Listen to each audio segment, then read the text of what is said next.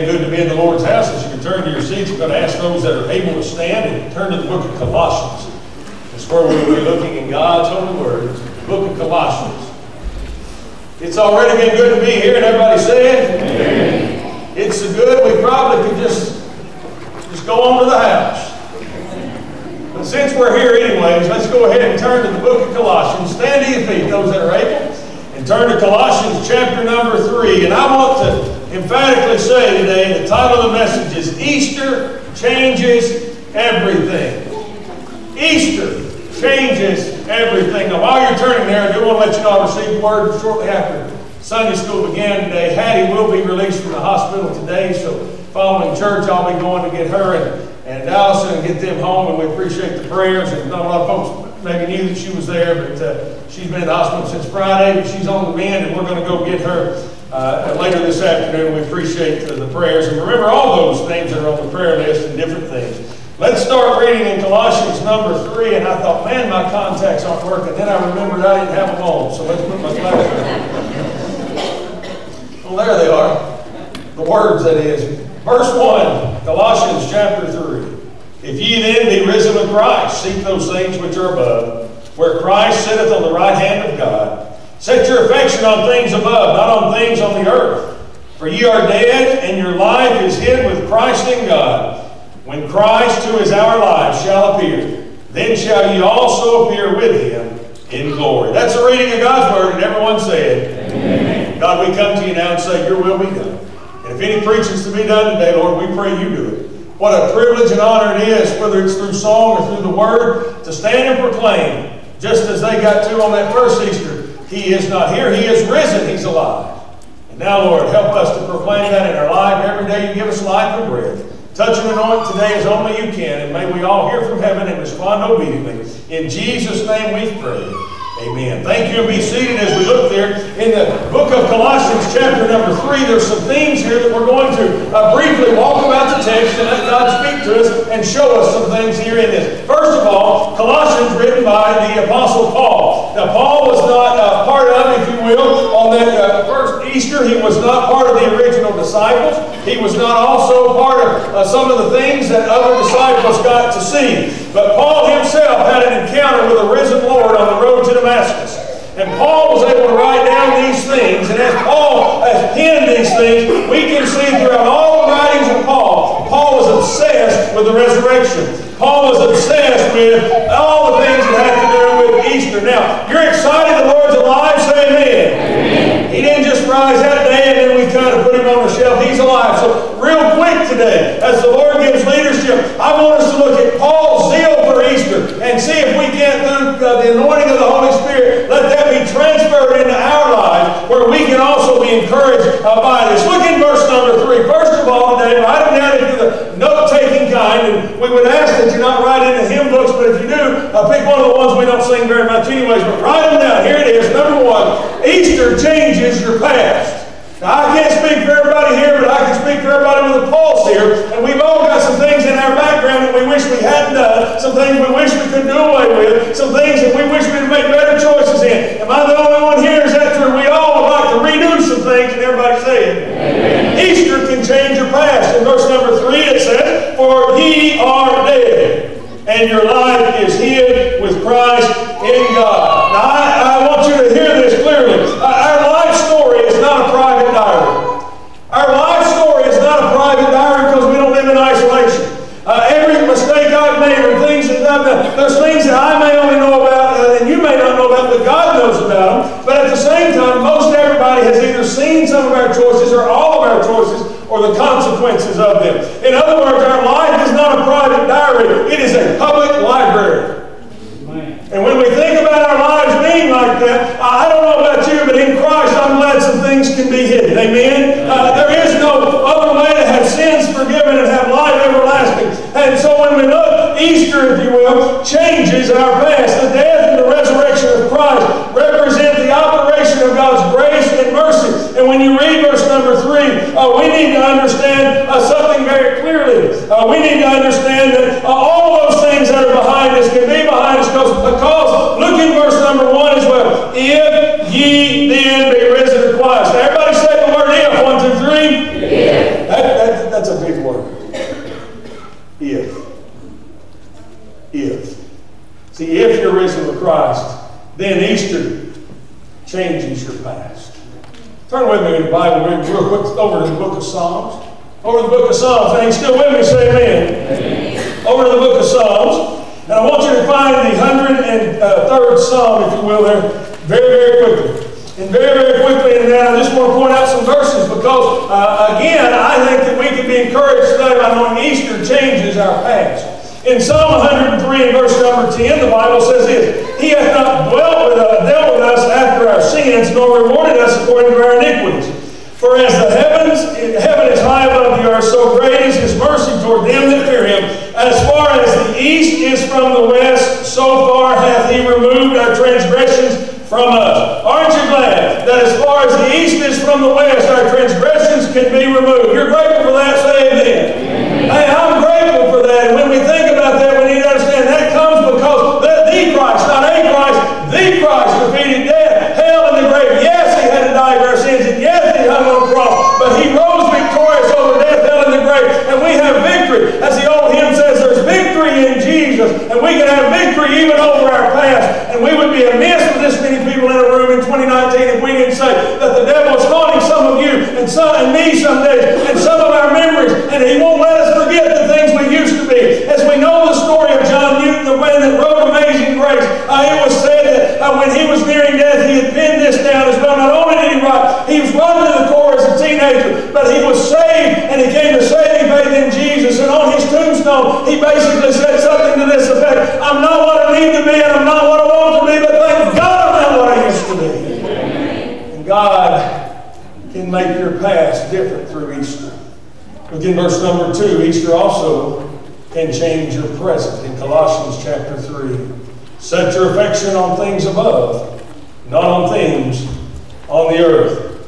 Now, I don't know about you, but I would suspect that lots of us would like to change some things about us. Right now, there's some of you that are sick. You'd like to trade that out for health. There's some of you that are married. you would like to trade that out for a happier marriage. Know where I was going with it. There's some of you that have some major decisions coming up. And you would really wish you could go back in a day and age when you didn't have all the responsibility or weight on you that you have right now. You're praying for a little simpler time. Some of you are bored in life right now, praying about a career change, job change, or something, you know, because you're bored. It's called sometimes a midlife crisis. Sometimes it comes with a car payment or a boat payment, doesn't it? We get bored. Some of you are poor. You'd trade it for somebody that has enough. Some of you are physically weak, and you'd pray for somebody that's got strength. See, it's important we understand in verse number two that Easter changes our present. Easter changes our present because it changes what our affection should be set on. Look in verse 2. Set your affection on things above. See, the resurrection allows us to have new life. It allows us to have new hope. It allows us to have uh, a sense of, of newness in us so that we can understand what was dead is now alive. We, he, he was, he is, and will forevermore be. And Easter can change our present because whatever's got you down today through a risen Lord, you know that if he can beat the death, if he can beat hell, if he can beat the grave, he can whoop whatever you're facing as well. And if that makes sense, amen. amen. It changes your present. You look in verse number two, it says, Set your affection on things above. Now, I don't know about you, but sometimes words and my actions don't always go together. Why is it when the preacher says it, everybody get quiet? You know what I mean? Sometimes I, I might tell my daughter over here, Man, I love you, but then my actions may not be where my mouth is. Sometimes it may be my relationships get fragmented because we say we love our spouse, but we're not showing them the way we should. Sometimes it could be that we, even in the Lord's service, say, Man, I'm there all the time. Now, they couldn't have church without me. But yet, when you're here, your mind's elsewhere, your heart's elsewhere, your soul's elsewhere. See, through this present here, the resurrection allows us to have new life. And when we set our affection, we need to understand that that doesn't need to be lip service, that needs to be heart service. And God knows our heart. God knows our heart. God knows our heart and knows when we say, oh, when we sing and proclaim, oh, how I love Jesus. He might just sometimes be saying, Really? Rick, if you really love Susie, you get that trash taken out. Amen. and everybody in church say it. Couldn't go Easter without picking on you, brother. Look in verse 2 in life. Sometimes we face adversity. Listen very carefully, though. Uh, everybody's here for a reason. In other words, I believe God divinely put this group together today. And sometimes when adversity comes, what do we do? We look within instead of looking up. We try to fix it in our own strength. It took me several years of marriage and about three black eyes before I realized when my wife has a problem, she doesn't need me to fix it. She just needs me to listen to her tell me about it. And all the ladies say, Amen. And don't be beating your husbands up just because my wife's filing with me. Amen. Now, understand that in a real sense. When we get bogged down and in trouble, sometimes we do everything we can do to fix it. Now, by the way, uh, put that in the sense of a car, if you will, for just a moment. Uh, we've got some folks that are mechanically inclined here, and your pastor is not one of them. Okay? Let me tell you, when my car starts sputtering and we're going to have problems, I pull off the road, and I know to reach right there and pull a latch that says hood. And then I'm done. I have exhausted my ability to fix that car. I'm done. Right there. And by the way, it took me a while to find the latch in Allison's car the last time that happened. See, in life sometimes we want to fix it. God does not need to be the spare tire. And in the resurrection, Jesus said, Look, if I'm big enough to do that, if I'm big enough to die on the cross, be buried, and be risen again on the third day, and rise again victorious over death, hell, and the grave, why would you use me as a last resort? Let's go to Him immediately. Amen. Easter can change your present. Easter can also change your future. Look in verse number 4 for just a moment. The Bible says, When Christ, who is our life, shall appear. By the way, he will appear again. And everybody say it? Amen. As we get older, we realize time's slipping away. It just stands to reason. It just stands to reason. If you take an hourglass and you stand an hourglass out, up to start it, at the very beginning of that, there's more sand left than there is. But the longer we live, guess what? There's more sand in the bottom. There's more days that are behind us than are in front of us. And when we start thinking about our future, I want you to know Easter can change your future as well. When look in verse number four, when it says that, when Christ, who is our life. And by the way, that's still the main thing. Jesus came to seek and to save that which was lost. Why? Because he's not willing that any should perish, but that all would have everlasting life. Jesus is about life. But isn't it funny? In order to give us life, he had to die.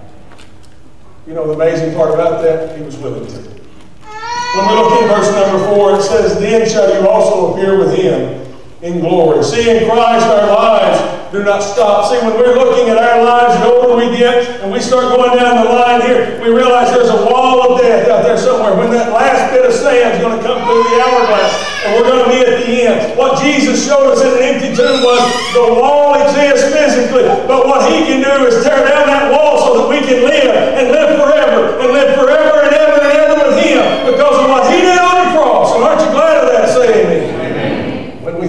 that in a real sense, we need to understand that Christians are not defined by the grave. When other people see a grave, they think of an end. But I want you to know to the Christian, that is not the end, but rather a place that we just simply walk through the valley of the shadow of death. Look in verse number one. Easter has changed our past, our present, and it changes our future as well. But in verse number one, have you really experienced Easter? Have you ever really experienced Easter? In verse number one, it says this If ye then be risen with Christ, seek those things which are above. Do you find yourself in your life seeking the things that are above? It could be a sign that, you know what, I've celebrated Easter, but I've never experienced the Christ of Easter.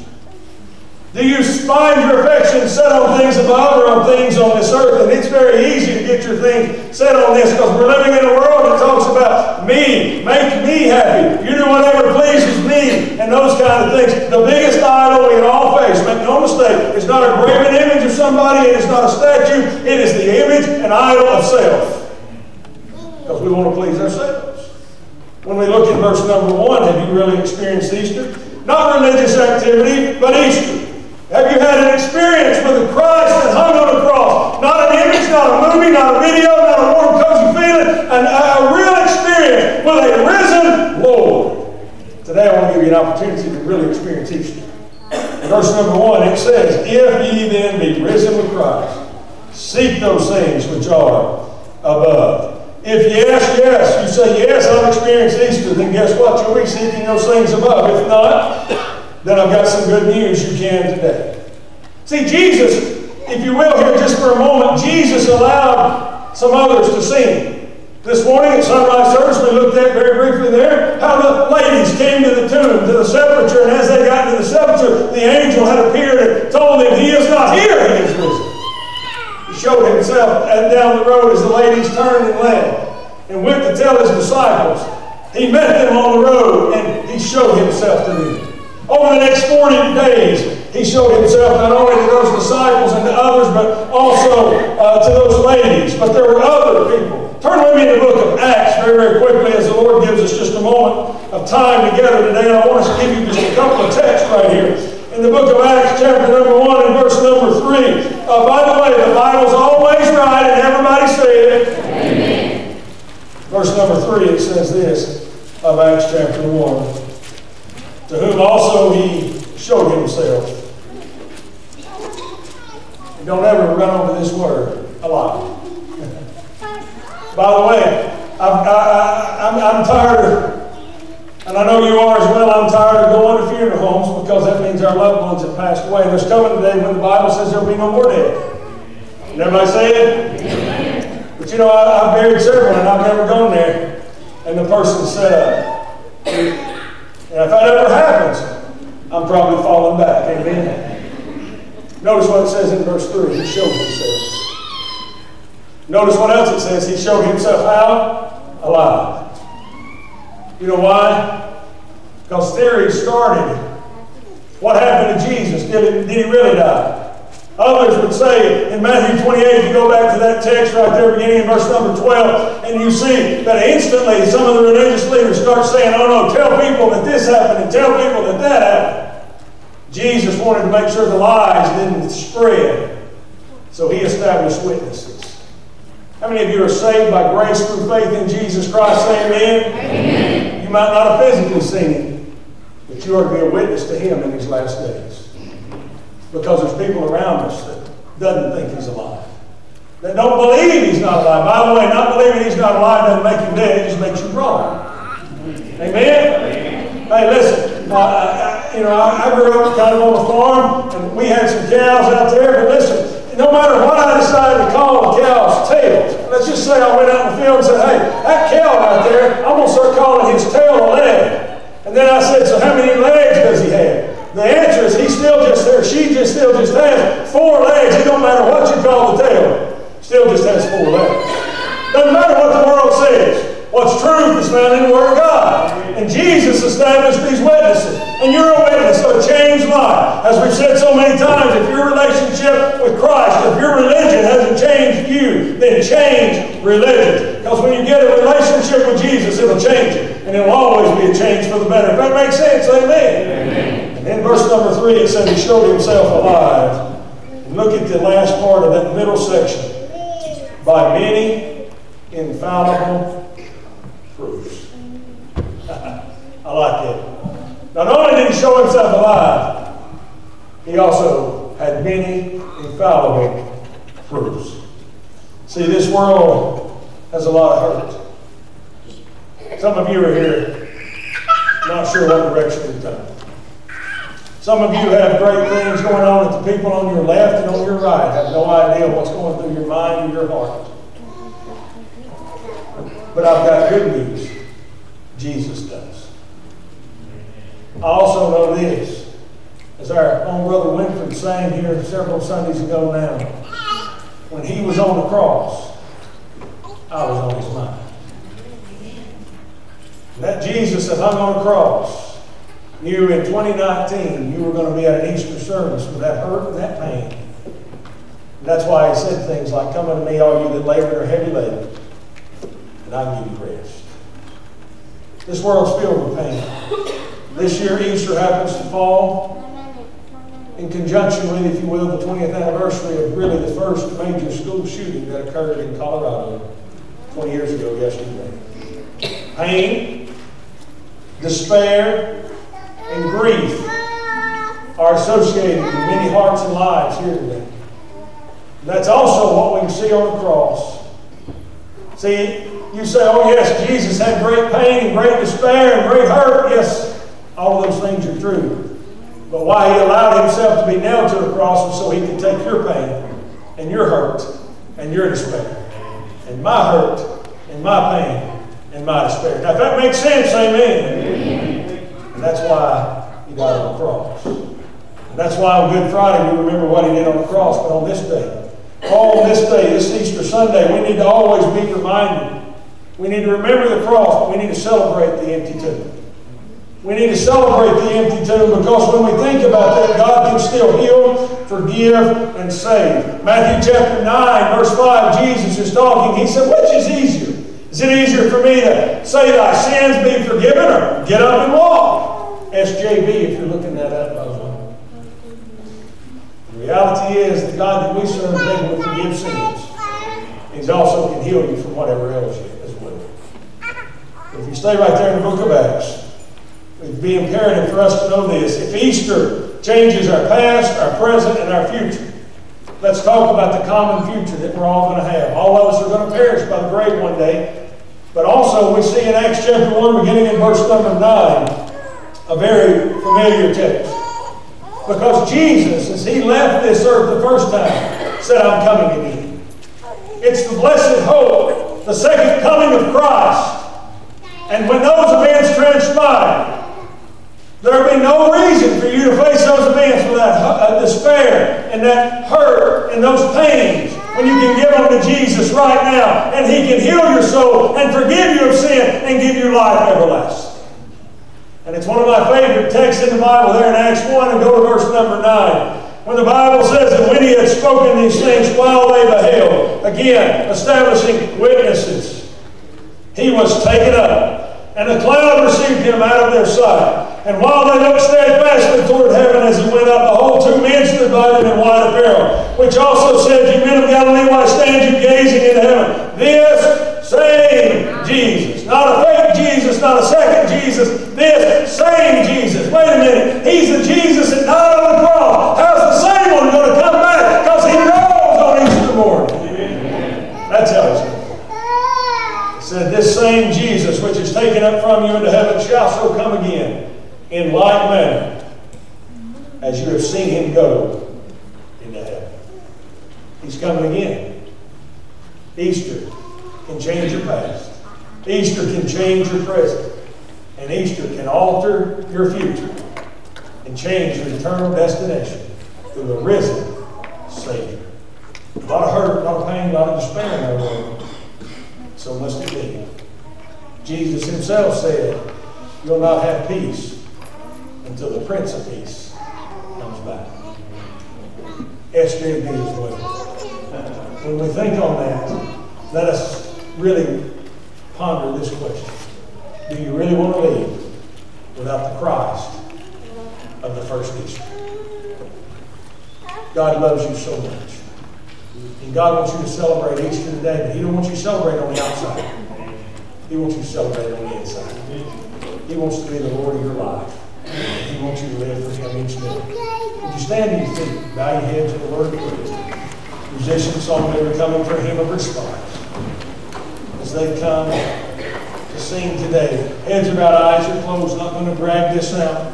Don't want you to answer my call. I want you to just let God speak to your heart about a couple of things. Number one, is all your Easter festivities on the outside? or on the inside? Do you want to experience? Maybe you're saved today the church don't let me neglect you. You're saved today. Praise the Lord for what Easter's done for your past, what Easter can do for your present, and what Easter will do for your future. But if you're lost today, God desires to tell you how much He loves you. And He can wash your sins as far as the east is from the west. Are you where you need to be? Simple test. Are your affections on things above? Or are they on the things of this earth? I'm going to hush and let God do the preaching and ministry. Heads about eyes are closed. Nobody's looking around. Would you be obedient to the Lord today? You may be in the balcony and say, man, they don't want to wait on me to come down here. There's nothing that any child of God would rather do than give anybody time to come to saving faith in Jesus today. By the way, you may be a professing Christian. This altar's open. Just come find a place as the Lord has spoken to you, and you be obedient to His voice. As we sing in just a moment, continue to sing, worship, pray, praise, however we want to do that. But let's be mindful. Most of all, we want God to have His will and His way in our lives and in this church. God, your will be done. Move as you see fit and help people to respond to your voice in Jesus' name. Amen. I hear the Savior say, Thy strength